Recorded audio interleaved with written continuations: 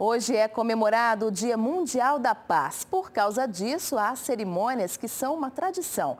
Uma delas é a primeira missa do ano aqui em Belo Horizonte. A solenidade foi celebrada pelo arcebispo metropolitano da capital, Dom Valmor Oliveira de Azevedo.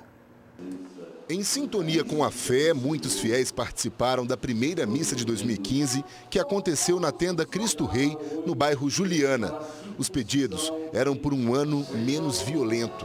É muita violência, muita falta de amor, de solidariedade, de Deus na vida das pessoas. Quem presidiu a celebração foi o arcebispo metropolitano Dom Valmor, que deixou uma mensagem sobre a paz. Uma mensagem que é um grande convite para que cada um de nós, respeitando uns aos outros, com muita reverência, nós possamos, com tudo que temos em condições, que a natureza nos oferece, o nosso tempo nos garante, nós possamos construir um tempo de mais paz, de mais amor. A tenda, inaugurada no início de dezembro do ano passado, fica no local da futura Catedral Cristo Rei.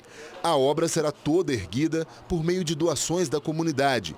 Por isso, não há previsão sobre quando ficará pronta. As obras ainda estão na fase de fundação.